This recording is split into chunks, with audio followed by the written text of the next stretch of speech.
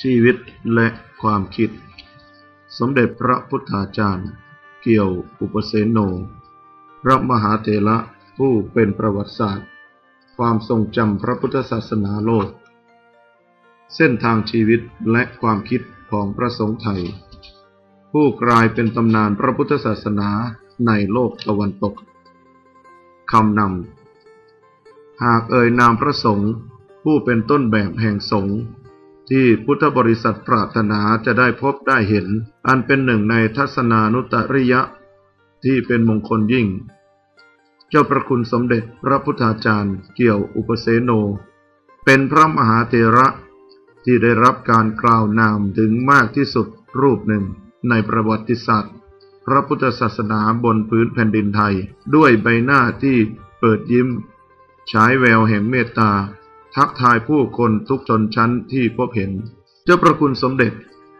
เป็นผู้ริเริ่มวางรากฐาน แนวคิดนำพระพุทธศาสนาก้าวเข้าสู่โลกยุคใหม่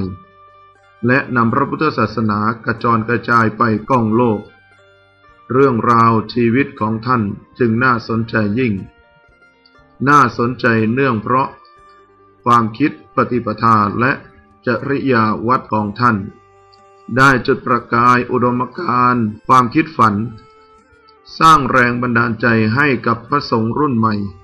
ทำงานพระศาสนาอย่างอุทิศชีวิต แทบไม่น่าเชื่อว่าชีวิตของพระสงฆ์รูปหนึ่ง เมื่อแรกตั้งใจบรรพชาเป็นสามเณรเพียงเจ็ดวัน แต่กลับดำรงตนอยู่ในสมณเพศ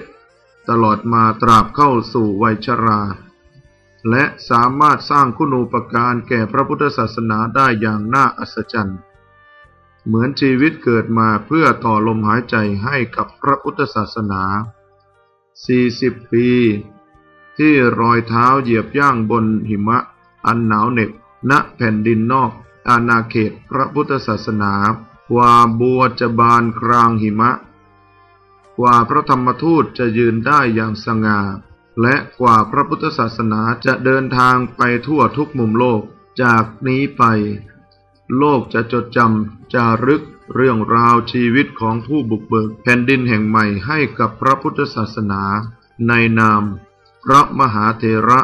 ผู้เป็นประวัติศาสตร์ ความทรงจำพระพุทธศาสนาโลกคณะผู้จัดทำ